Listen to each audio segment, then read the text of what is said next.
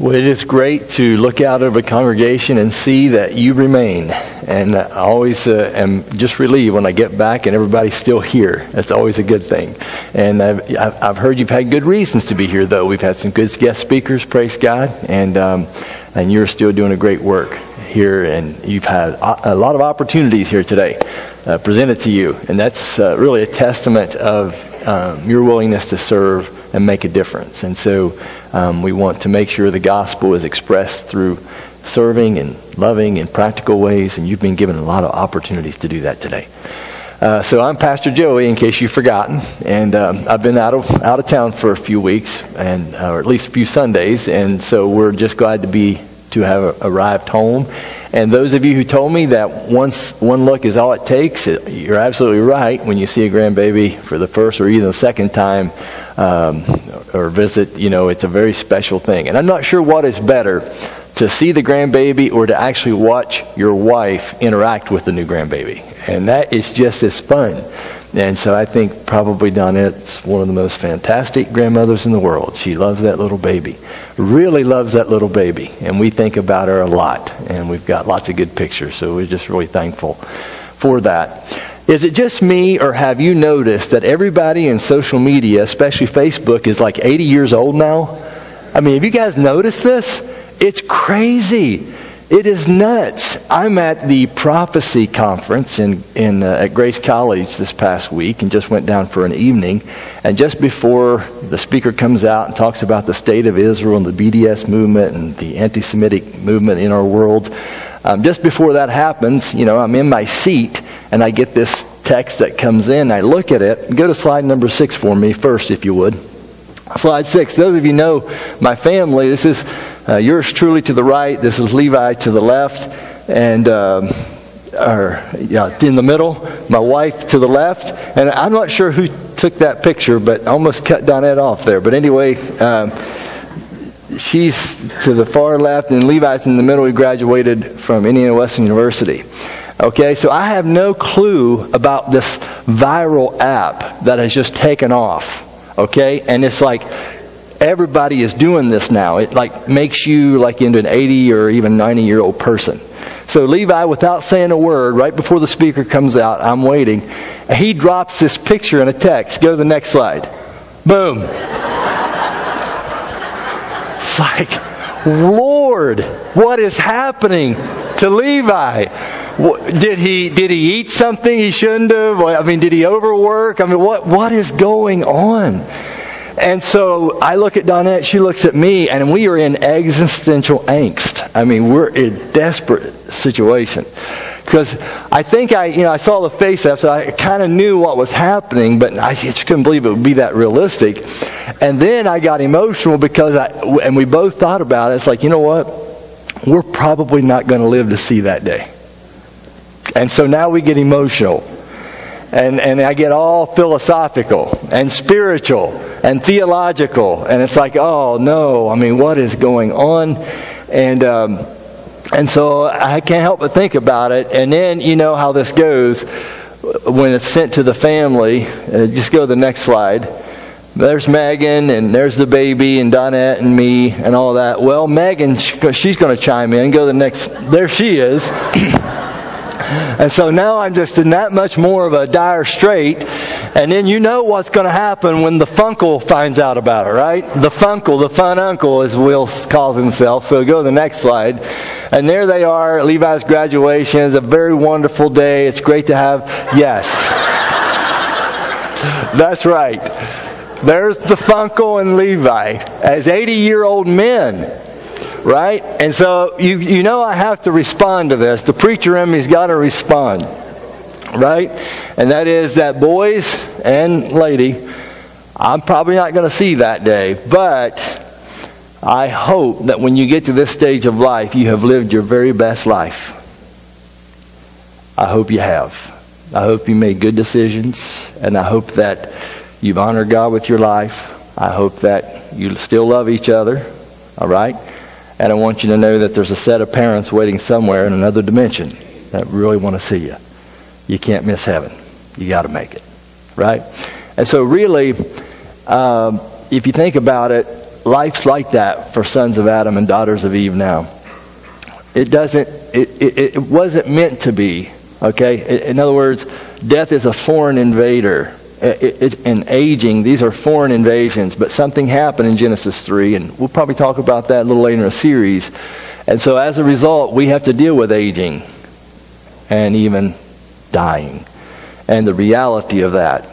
And aging and death and dying gives reality to today. If we didn't age and didn't eventually face death, we would waste our moments. We would make we wouldn't care what decisions we made. It wouldn't matter. So in a way, even death and aging and dying, in a way that causes us to realize that life is very precious. And we have to make good decisions now because we only have so many years, so many so many birthdays that we're going to celebrate. And it's important that we make good decisions all along the way. And that's our hope. All right? Is that's our hope that all of us will make good decisions that God willing we can reach those uh, that phase of life, those stages of our years. Uh, and that's the hope, but doesn't always work out that way. There's no guarantees. But whenever that time comes, that we'll be ready and that we'll be able to have a family reunion, and that's the hope.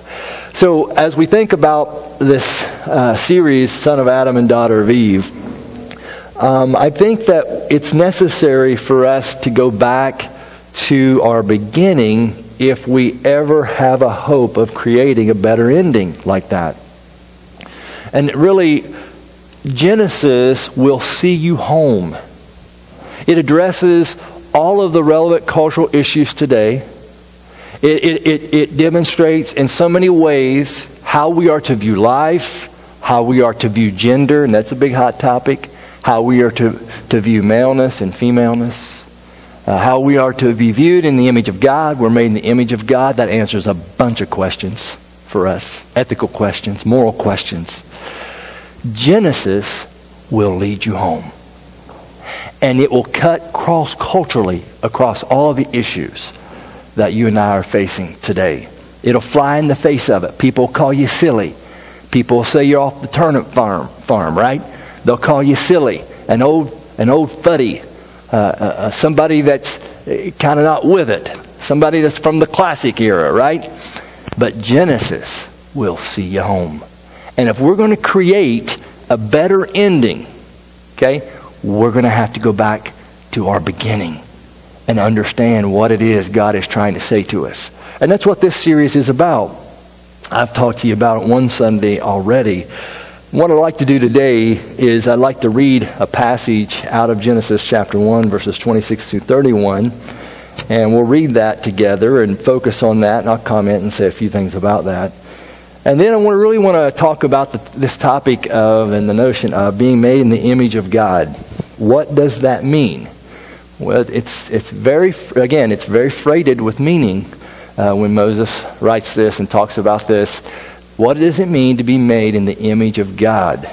And if we understand that, we're going to have a lot of other ancillary questions answered for us on a lot of the issues that we face today. So, what does it mean to be made in the image of God? You're made in the image of God. Okay? You're made in the image of God. Are you going to polish it? Or are you going to tarnish it? That's the question. Okay? You're made in the image of God. You reflect God. Are you going to polish your life in such a way that you're going to reflect a more accurate image of the glory of God that made you? Or are you going to tarnish it? You're going to make decisions that hinder the reflection. And that all that God meant for your life is not going to be seen because you've made decisions to tarnish the image of God in you. All right? And so I really want us to get that point because uh, the image of God, it addresses your identity, who made you. It addresses your humanity. You're a person, and that's essentially what it means. It addresses your value, uh, whether, whether you are a person, whether you're in a womb, or you're getting ready to go to a tomb. Everything in between is sacred, it's holy. You're a person. You have the capacity to do all the things that persons do. So you have value. And then you, of course, you have purpose. You have to have purpose. And so um, the fact that God made us, we know we have purpose. And one of his great purposes is very clear in the Bible is that we love. And that we love uh, with uh, sacrificial self abandonment. And so God makes that very clear. So the image of God addresses our identity, our humanity, our value, our purpose. And then I want to share with you a couple of stories. I do a, a, a, a lot of reading because I want to have something engaging for you on Sunday mornings. I don't want to just bore you with the same phrases and cliches and stories. So I do a lot of reading across a lot of a very broad spectrum. I'm in a lot of different fields and areas when I read. I read men and women both. And it's very interesting what I'm learning. So I want to share with you what I'm seeing as the biggest challenge for men and the biggest challenge for women. It's what's showing up in a lot of the things I'm reading. And one of the biggest things that women will talk about is food and their weight. That's showing up in a lot of a lot of different uh, uh, women's writings. Men, on the other hand, one of the biggest challenges they face is this sense of significance. They fear failure.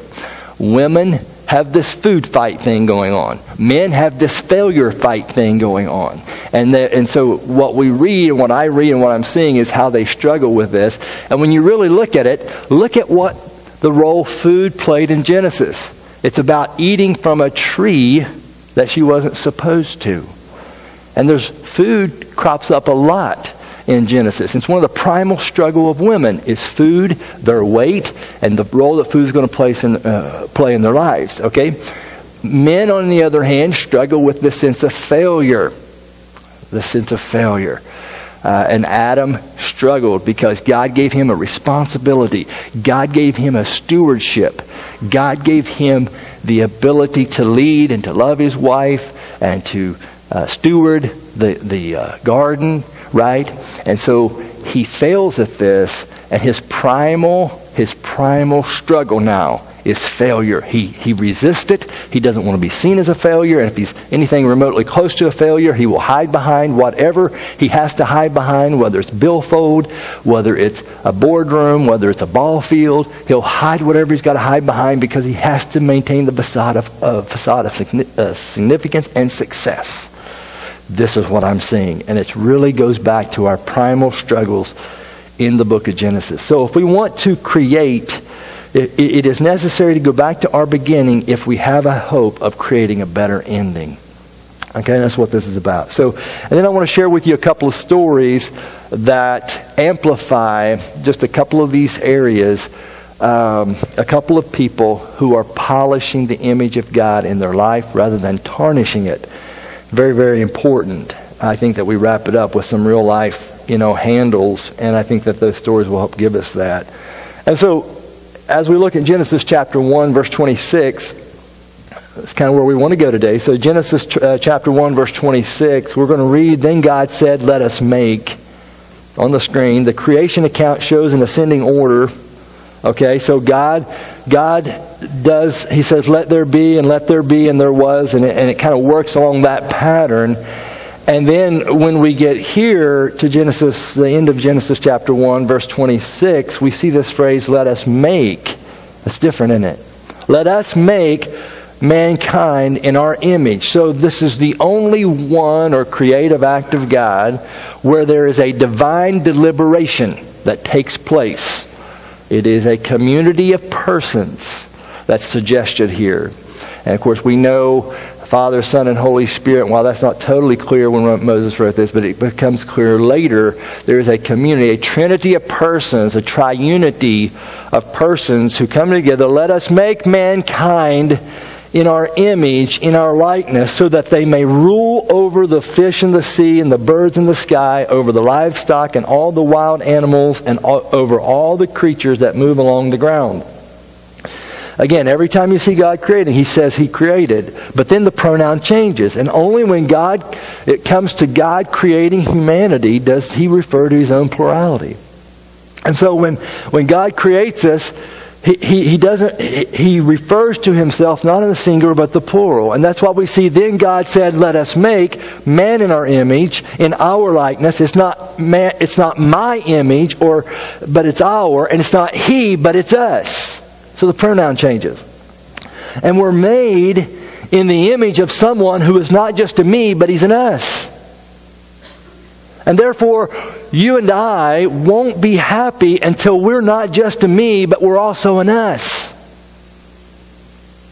This is part of your DNA. And before you can be an us, you've got to be a you. You've got to know who you are. That Genesis tells you that. If you don't know who you are and you try to have a serious relationship, try to get married, whatever, never going to work because you're looking to somebody to complete and meet, and meet all your needs and tell you who you are, and you can't work that way. You've got to get your identity from God. He's only one who can tell you who you are. Okay? So before you can be a me, you got to be an us. Before you can be an us, you have to be a you. And the image of God, the image of God is the capacity for personal relationship. And I realize I'm I'm uh, really, really condensing it down. God Himself has never existed. Think about this. God Himself has never existed as a single, lonely, solitary, isolated individual. He has always existed in a family of persons. He is Father, Son, and Spirit. This is who He is. This is what He is. And you're made in His image. That's significant. Verse 27. So God created mankind in His own image. In the image of God, He created them, male and female. He created them. Okay? God created. Did you miss it? Says it twice. He created. Did you miss it the second time? He says it third time. He created. God created. He created. He created.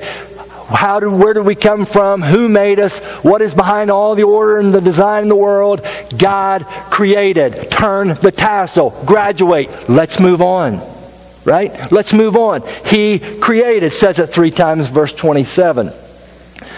Verse 28 God blessed them and said to them, Be fruitful and increase in number, fill the earth and subdue it. Rule over the fish in the sea and the birds in the sky and over every living creature that moves on the ground. F.B. Meyer says it well. Man was placed in the, in the world like a king Okay? They're the servant kings. In a palace stored with all to please him, the sun to labor for him, the moon to light his nights, elements of nature to be his, messengers, flowers to send his pathway, fruit to please his taste, birds to sing for him, beasts to toil for him and carry him, and, and man himself amidst all the luxury, God's representative, his vice regent. This is as God made him. I like that. Verse 29. Then God said, I give you every seed bearing plant on the face of the whole earth, and every tree that has fruit with seed in it. They will be yours for food. What's so amazing is that after such heady theological truth that addresses our identity and our worth, God wants to talk food right on the heels of that conversation. And if we don't have a proper view of food and the fuel that we place in these bodies, it's going to be a negative impact to the extent that everything else is impacted. And to all the beasts of the earth, verse 30, and all the birds in the sky, and all the creatures that move along the ground, everything that has the breath of life in it, I give every green plant for food. There it is again. And it was, and it was so. And God saw all that He had made, and it was very good. And there was evening, and there was morning, the sixth day. There's three things we got to think about. I'm going to focus on the second of the three. The first thing is God created human beings. Many, many people have offered, suggested, and suggested alternative explanations as about as to how we came to be. Won't get into that this morning. It's appealing to a lot of people, but it's man's best attempt to explain life in such a way that it, it excludes a need for God and our accountability to God. So we must talk about and think about First of all, God created human beings. Secondly, God created us in His image, and I'm going to come back to that in just a second. I'm going to camp on that this morning. And then the third thing we've got to think about is God created us male and female. And some today are asserting that gender is something that we choose, and that somehow bi- biology is bigotry. And that, and that somehow gender is what we choose, and so we don't want to I think even in England, they're not, they're not specifying, in some places, they're not specifying the birth of a baby. We're going to let the baby choose that. And you can't change gender, though. You can only rearrange anatomical parts. You can't change it. It's a farce. It's a, it's a mythical debate. You can rearrange body parts. You can present by what you wear, and you can learn mannerisms, but you can't change gender. It's DNA, it's chromosomal, it's hormonal, it's, it's built in you. You can't change it. We think we can change it. You can't change it. It's unchangeable at the, at the core DNA level of who we are. And humankind can't stand that they can't change it. and yet they tell themselves that they can. Okay? And so this is where we are today. If we're going to have a better ending, we've got to go back to our beginnings. It has to be. Because it defines everything that we're facing. So God created human beings. God created us in His image. I'm going to go there. That's really the main part of the sermon. And then God created us male and female. And here's the deal. Here's the deal. We will love you if you've bought into an alternative explanation for who created the world. We're going to love you. You belong here. This is your family. We're going to stay with you as you work through that process. Fair enough? Good enough? Absolutely. No one's going to withdraw love, okay? We're creating the image of God. You may not believe that. We're going to love you even if you don't. God created us male and female. You may be struggling with gender issues, maybe things that's happened in your life, all right? We're going to love you as you deal with that, as you work through those issues in your life. We're not going to withdraw love. You're safe here. You don't have to run away. You're safe. You're safe. Attracted to the same gendered person, it's okay. You're safe. You're safe. We're not going to withdraw and alienate. Okay? We want you to work through the issues. But at the same time, we want to be a ray of light in the darkness of a fallen planet. And we're going to hold to those Genesis truths that beckon us home and that beckon us into the kind of life, uh, the kind of life that we're being invited into. Not just in, in that we are a son of Adam, daughter of Eve, but we are Adam 2.0, we're Eve 2.0. Why? Because of Christ and what he's done in our world. So God Back to the second item here then. So God is, God created us in His image. We're made in His image. And this is why every human deserves to be treated with respect, regardless of their identity or their struggle. And so when we see this, what does it mean to be made in the image of God? It's a big question. All the scholars want to debate it. Some talk about dominion. Some people talk about language, our ability to communicate. Some people talk about our immortality. Some people talk about communion with God and stewardship and self-consciousness. Have you ever thought about that humans are the only animal or creature, not an animal, they're a human being, but they're the only creature that blushes? Has your dog ever blushed? Huh? Have you ever been talking to your neighbor and your dog comes and decides he's going to do number one, number two right in front of your neighbor? On his lawn? Does he blush? Doesn't even care. Gives it, pays it no mind. He'll do it again if you let him, right? Okay. We're the only creature that blushes. We're self-conscious. Animals are conscious. We are self-conscious. That tells us something. Some people look at it that way. Uh, we are people that know a sense and have a sense of morality. Man has a sense of right and wrong. We're morally aware. A man wrote to dear, uh, to dear Abby, Dear Abby, I am in love and I'm having an affair with two different women. I can't marry them both.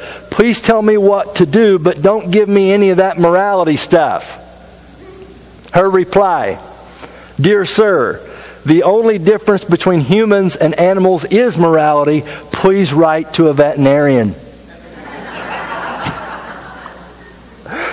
Some people have attempted to define the image of God in terms of the capacity of man. They talk about man being a moral being, a social being, a creative being, a rational being. The imago Dei, which is the Latin phrase for the image of God, it's about who made me, and it's that I am a, I have personhood. You and I are persons. We are, we, we, are, we live and we move on the basis of relationships. We understand fellowship. We understand love. We understand communion. We understand conversation. We understand sharing thoughts, sharing attitudes, sharing ideas, sharing experiences with others. And that is why when God created man, He immediately said it's not good for man to be alone. Why? Because the image of God is personhood. You and I got made by a trinity of persons. And the stamp of, of, divine image means that every human life is sacred. Why? Because they have personhood. Every human being has intrinsic value, not just because of what they do or what they contribute, but just because they are human beings. They have value. You are more than a higher form of animal life. Man has reason rather than instinct. He's capable of thinking abstractly. Uh, he has the ability to appreciate beauty to feel emotion, to be morally conscious. And above all, as we have pointed out before, man has the capacity and the need to personally relate to other people, especially to God, and being able to love Him and worship Him. That's personhood. And so you and I are persons. And this is where we get our worth. It's where we get our value. And when the Bible says that we are made in the image of God, we have to ask, what do I know about God in the first two chapters of the Bible? Because that's where it talks about it. And if I'm in His image and I reflect the glory of my Maker, what do I know about my Maker so far if I just look at the first three chapters of Genesis?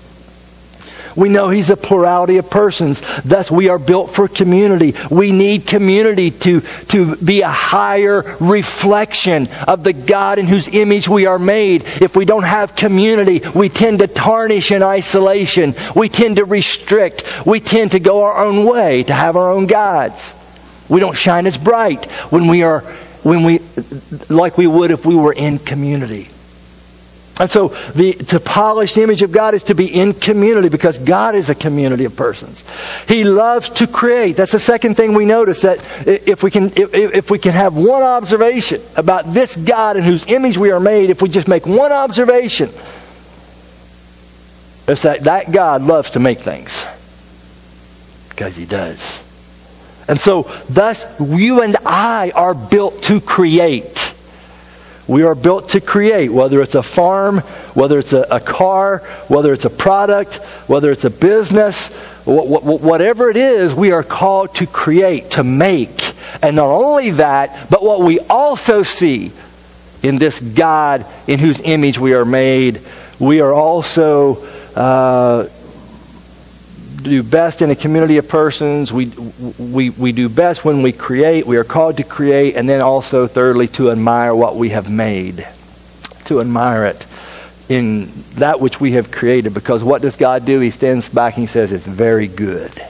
It's good, it's good, it's good. And then he says, It's very good. And so, what do we know about God and in whose image we are made? A community of persons. He loves to make things, and you do too. And he loves to stand back and admire what he's made after he's made it. And you do too. Well, that was a good race, or that's a good painting, or man, I did a good job on refinishing that piece of furniture. When you do that, you're beaconing out, you're showing the beauty of who God is and how He's made you. You're reflecting your God. It's a beautiful thing. And people reflect God and they don't even mean to. The fact that we try to become male or female, we think those are, those are uh, interchangeable. Hey, if you really want to be a rebel, come up with your own gender. Come up with your own. We don't even do that. We're even reflecting God in our, in our debate. Why? Because God says, I made male and I made female. Okay? And so this is what we see. Now, it may be helpful to know that at the time of the book of Genesis was written, ancient kings of the Near East, they ruled these vast territories, and they knew that they could not be physically present everywhere in their kingdoms. So they commissioned statues of themselves to be placed in all the major cities of the realms. And when people looked at these statues, and this is what they did at the time that Moses wrote Genesis, okay? They looked at these statues, they were reminded of the authority of the king who ruled over them. And the statue was not the same as the king, but it represented the king, and it was, and the statue was due the same glory and honor as if the king himself were present in that community. And so to dishonor the statue of the king was sacrilege. It was treason. And so humanity was to function in the same way. We are reflections rough representations of the Creator in ways that his other creatures are not. You're made in his image. You reflect him. You're positioned strategically in the world, thus that you might fulfill your calling to marry and reproduce, to work and create goods and food, uh, and to uh, admire what you have made. You know, some people polish God's image while other people tarnish it. And I've shared that with you earlier. And in a post fallen world, God's image gets marred. It, it is defaced, but it is not erased. You are a person. You remain a person. Okay? You reflect God. Whether you believe in Jesus or not, whether you believe in God or not, you still reflect the man who, the, the, the, the entity, the triunity that made you. And in this defaced state, though, and we see this in Genesis 3, we don't create and do things or admire what we've created for the right reasons.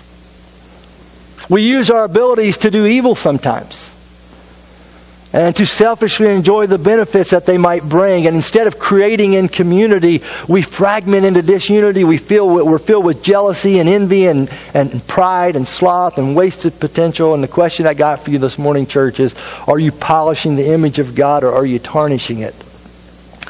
If my hunch serves me correctly, there may be some who may even be here today who say, I really don't want to reflect God. I've met a few people in my life that don't even want to believe in God or believe that they're reflecting of God, right? And maybe that's some of our journeys today. And if that's where you are, we love you. Stay on the journey. You're going to see the beauty of who God is. And so the problem is, it's not an issue whether you want to reflect or you don't want to reflect. The problem is you will always reflect something. And we become what we worship. We reflect it. Whatever we worship, we turn into that thing. And whatever, whatever you turn your gaze to, it rubs off on you and everything becomes colored by the idol. And when you worship money, you don't see humans, you see transactions. And when you worship sex, you don't see humans, you see objects. And when you worship power, you don't see humans, you see pawns.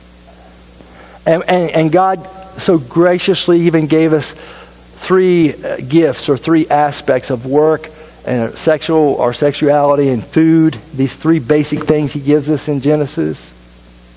And if you make a God out of any one of them, God's image gets tarnished and we eventually break down because we can't handle it.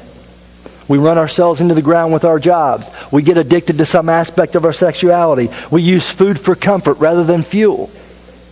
And when we live for the glory of God and reflection of God, we are constantly checking in, Lord, does this reflect what you had in mind? That's what it means to be a God worshiper, a God follower. We're checking in. You know, I think it's interesting. Donald Miller talks about his dog Lucy. And uh, they would go to a place called Westmoreland Park, and Lucy would play in the creek, and she'd run up and down, and she'd dive in the creek, and she'd chase the ducks. He said Lucy didn't read self help books about how to be a dog. She just is a dog.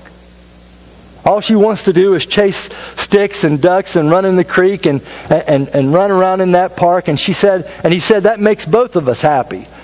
And then he says this It makes me wonder if that was the intention for man to name animals, create families, work their jobs, to, and, and keep looking back at God to feed off of His pleasure at our pleasure. Am I doing a good job? Is this what you had in mind for my work? Is this what you had in mind for my sexual relationships? Is this what you had in mind? How I treat food and how I view it? Always checking in.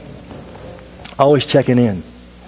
I think that maybe that's what it means when we live a God glorifying life and we polish the image of God in us. Is that we're checking in. And we want to not reflect these false gods that we can give ourselves to so easily. But instead, we worship our Creator and we're checking in to say, hey, am I, do I have this right? And we're in His Word and we're getting His counsel and His guidance. This is what it means to live a God glorifying life. This is what it means to polish the image of God. You want to polish the image of God in your life? Grow your mind. Don't just spend countless hundreds of hours playing mindless video games. Uh, okay. There's a place for video games, all right? But don't just waste hundreds of hours. Grow your mind so that your mind can reflect, it can engage and grow in ways beyond what a video game can do for you. Sharpen your skills. Steward your body. Be sensitive what you put into it, what you do with it, how you use it. Love your spouse, mentor your kids, improve your community, create art, accept your gender. If you want to really worship God and He made you male, present as male. If He made you female, present as female. It's your first act of worship. To say, God, thank you for making me who I am. Right? Clarify your cause. These are ways to polish the image of God in your life. What how do we tarnish the image of God? How do we gratify ourselves and thus tarnish? We can fry our brains on drugs, and that limits our capacity. And praise God that Adam 2.0 and Eve 2.0 can find hope and strength in Jesus to overcome some of the things we've created for ourselves, but we can fry our brains on drugs. Sometimes we're there and sometimes we're not, right?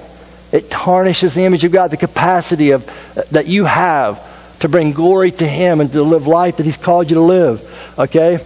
Neglect your body. Input bad stuff, not just food, other things that would hurt your body. Okay? Engage in promiscuous sexuality if you want to ruin your life.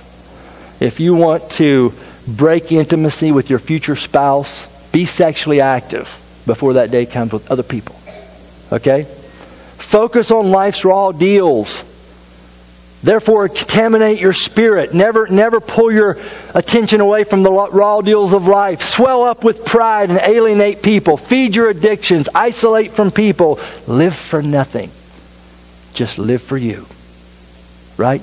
Live the animalistic, at the animalistic instinctual level. I'll just do what feels good.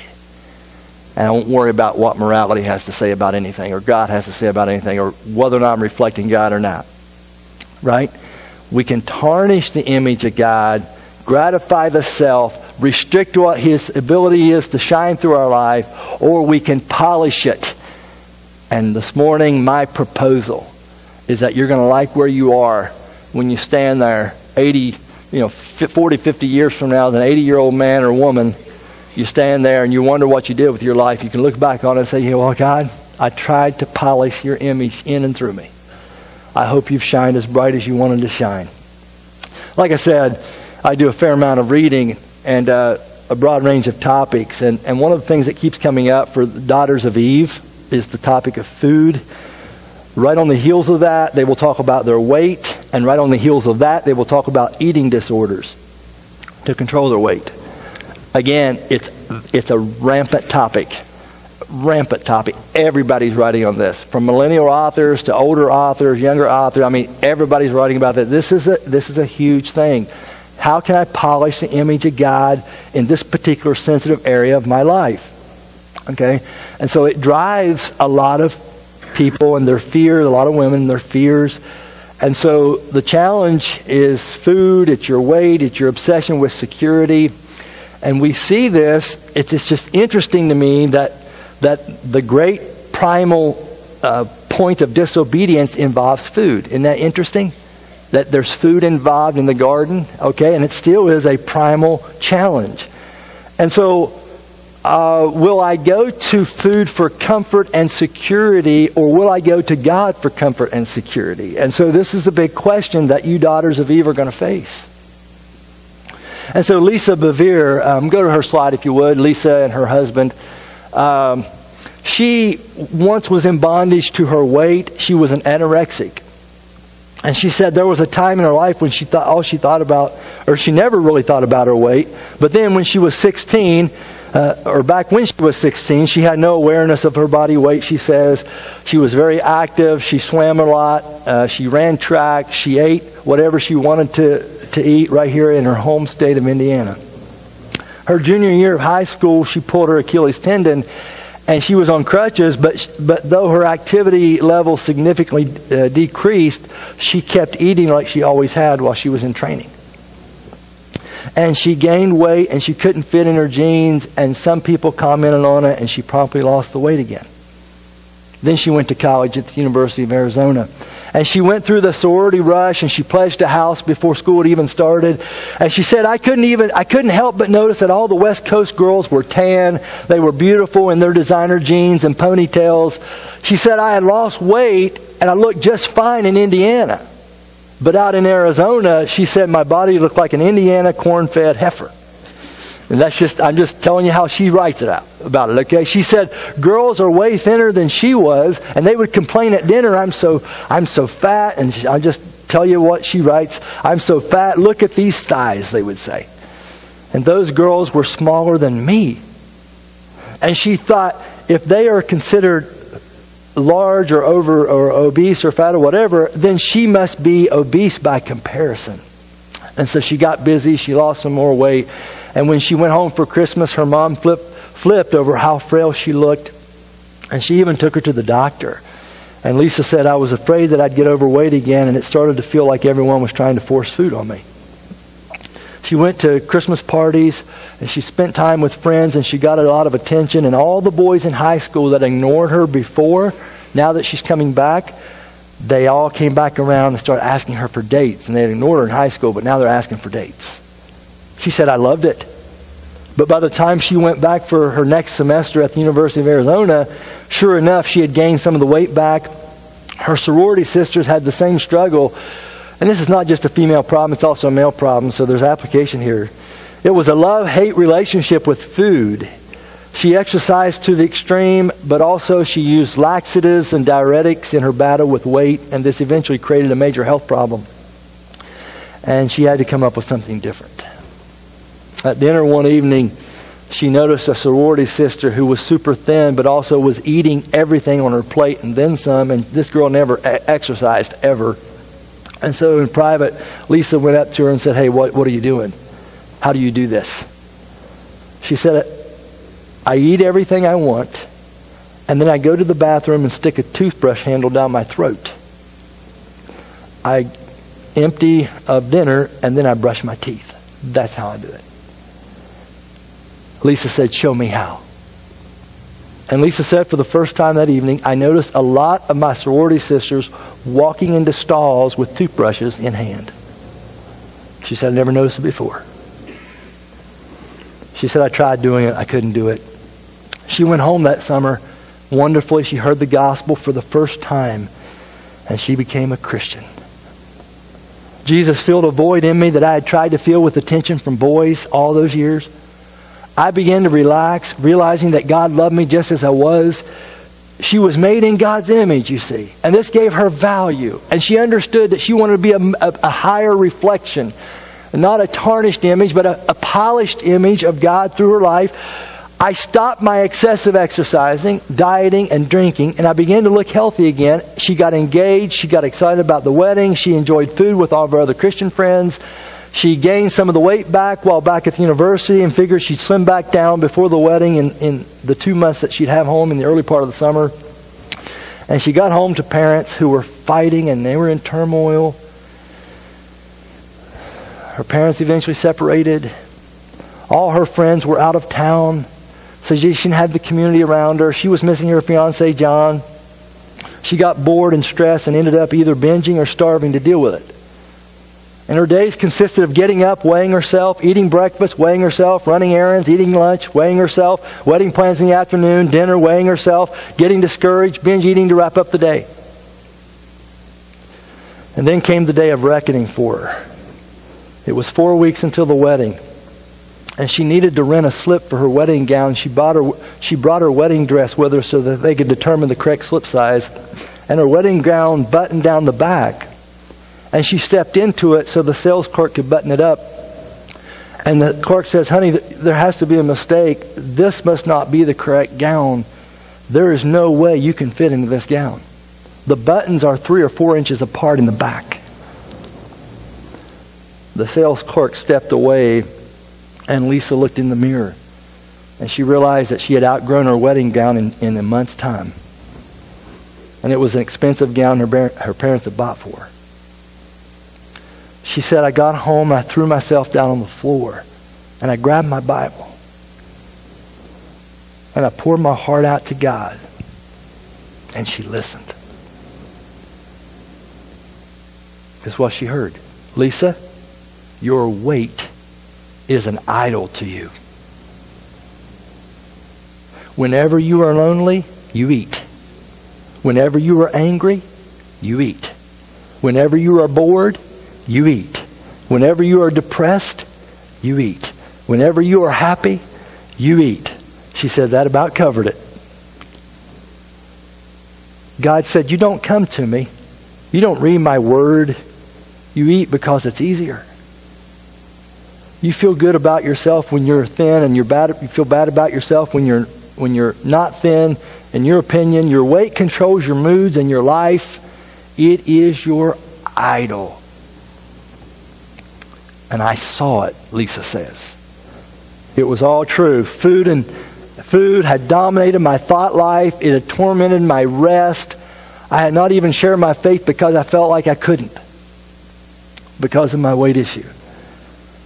She was listening very closely now, of course, and she said this is what she heard Lisa, I will heal your metabolism.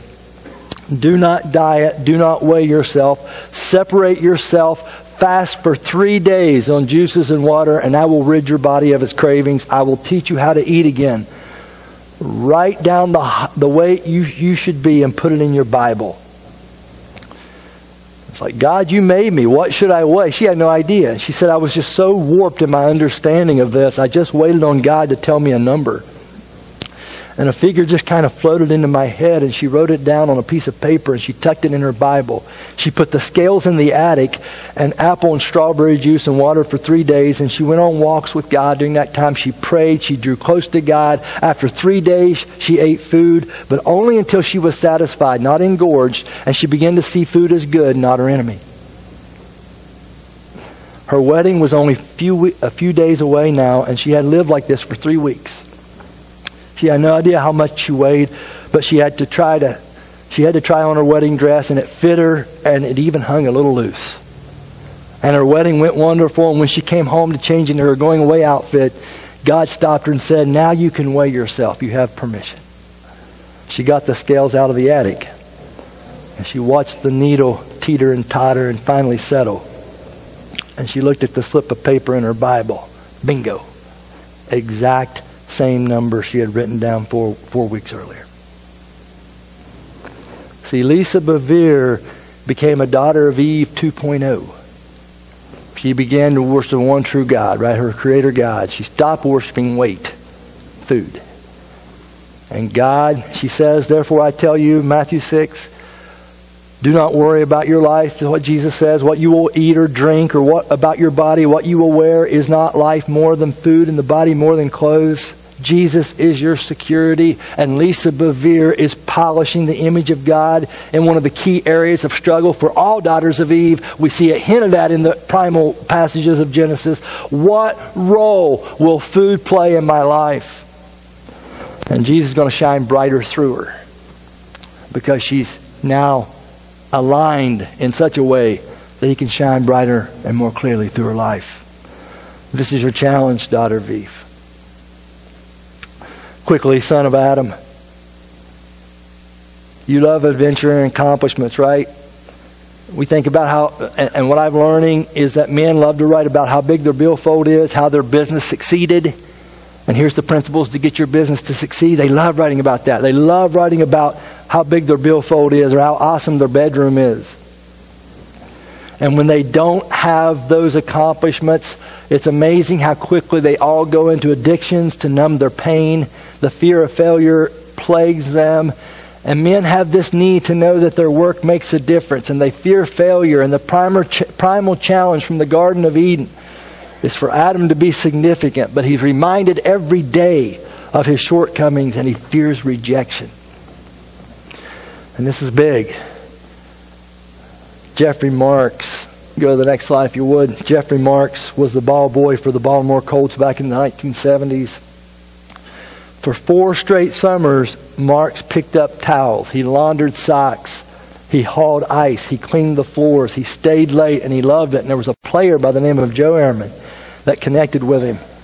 And he would ask him questions and things. And, and Jeffrey Marx, the ball boy loved being immersed in the world of men and just how they how that the, the team spirit and Ehrmann would really he would nearly rip your head off on the field as a defensive tackle but off of the field he would cut up with you he talked to the ball boy and and, and he said that he, he enjoyed the close camaraderie with the other players they also chased women played cars sought fame but all the partying stopped when he realized he was going to lose his brother to a disease, and that's exactly what happened. And Joe had a question the defensive tackle for the Baltimore Colts in the 70s, who would rip your head off on the field, he had a question. What am I living my life for? I lost my brother. Who's being glorified through my life? Am I polishing the image of God or am I tarnishing it by the way I'm living? Am I restricting all that God might want to do in my life? It presented a crisis of significance for Joe Ehrmann. Well, Jeffrey Marx, the ball boy, he eventually left. He went to college. He got a degree in journalism.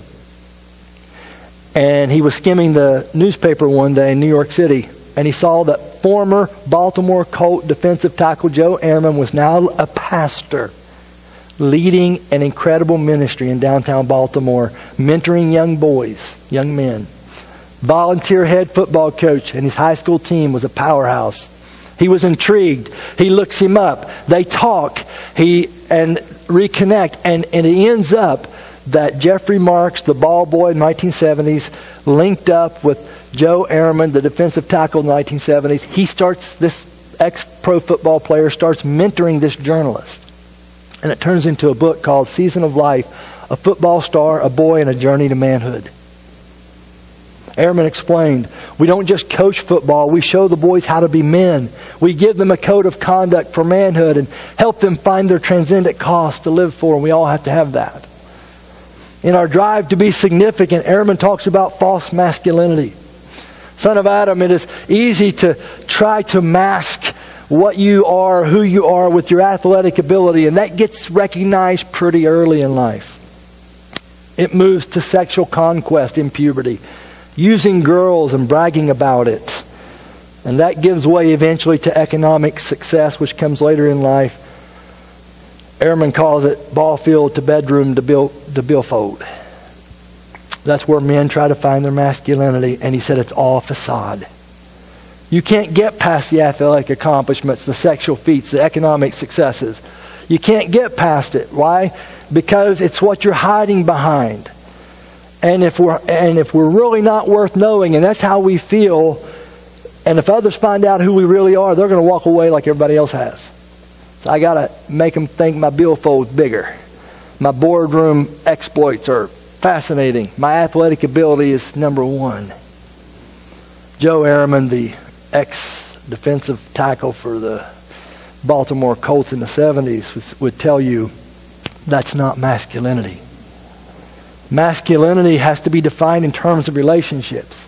If you look over your life at the end of it, life wouldn't be measured in terms of success based on what you've acquired or achieved or what you own. It's going to come down to this. What kind of father were you? What kind of husband were you? What kind of coach, brother, teammate, friend were you? Did you accept responsibility and follow through and finish? Did you lead with courage and go against the flow? Did you promote justice on behalf of others? That is, uh, uh, endeavoring to understand the pain of other people and do something about that sons of Adam can be solitary, lonely men.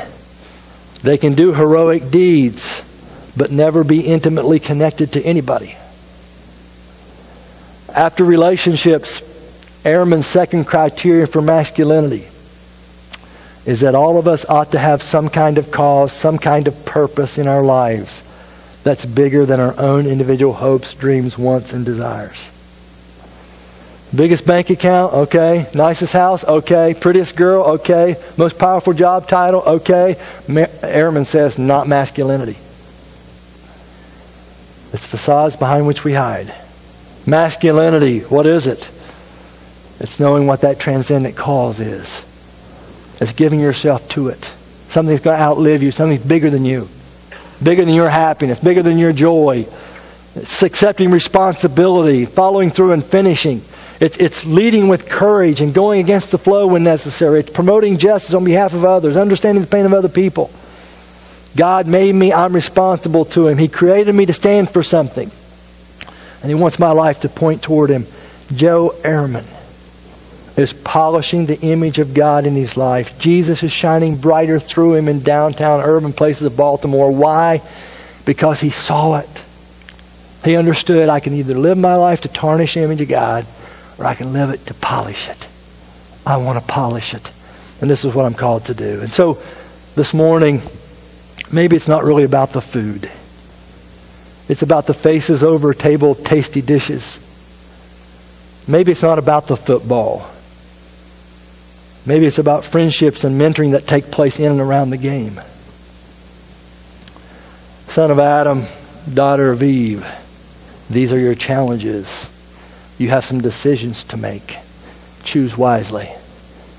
Polish the image of God in and through your life. It'll outlive you. Honor your transcendent calls. Honor the God who made you. Make decisions now so that when those FaceApp pictures really, you know, one guy said, I got in trouble. He said, I, I LOL'd somebody's face that was actually that age. Okay? That's what happens. Yeah, LOL. Oh, oh, oh, oh, wait a second. He didn't do the FaceApp. That's really him? Okay, that happens, right?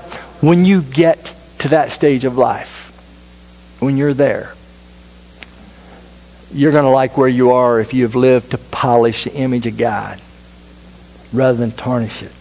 You know, it's kind of interesting to me.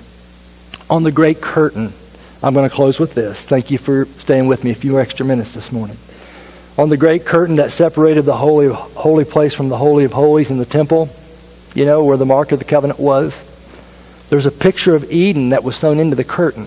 Do you hear me? A picture of Eden was artistically created into the curtain itself. And so, in, in, a way, mankind has always been trying to get back to the garden, back to the holy, most holy place. And that picture of the Garden of Eden was there. And you'll recall also that there was an angel with a sword, and the sword went back and forth on the eastern, at the eastern side of the Garden of Eden. And, and it's suggested, and, and what it's implying is that the only way we could ever get back into the garden was that somebody had to undergo a penalty, a punishment. Somebody had to pay a price so that we could get back into the garden. Several thousand years after Adam and Eve, there was another son of Adam that was born. Virgin born. A part of the Trinity that said, Let us make in Genesis 1. He becomes flesh. He dies on a cross. And when he died, that curtain with a picture of the Garden of Eden stitched into the fabric of the four inch curtain it rips from top to bottom. He went under the sword that was flaming in the Garden of Eden. He went under the sword. He absorbed the punishment of man's rebellion, disobedience. And the Garden of Eden just opened up to everybody. We can all walk right in with no fear. That's what he's done. And the Bible talks about a second or a last Adam.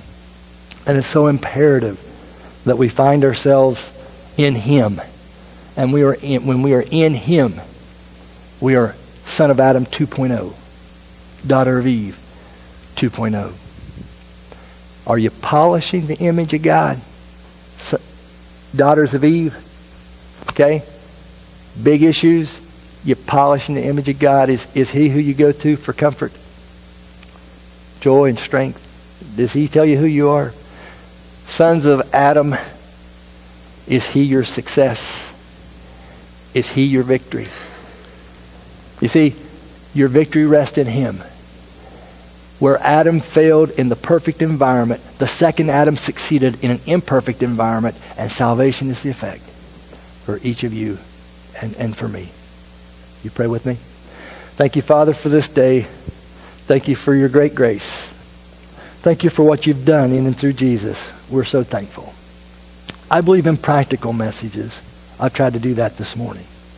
I ask and pray you would touch this congregation.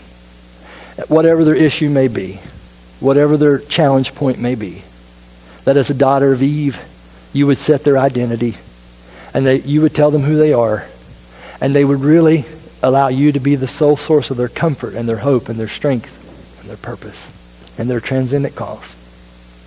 And I pray for the sons of Adam right here this morning that you would touch them. Some of them have absorbed a lot of things, maybe some failures along the way. There's not one of us here that can't say, hey, there's been moments of failure in my life or what I've seen as failure. And some don't want to really talk about that or even want people to know about those things. But I ask and pray you would help them to rest in you today.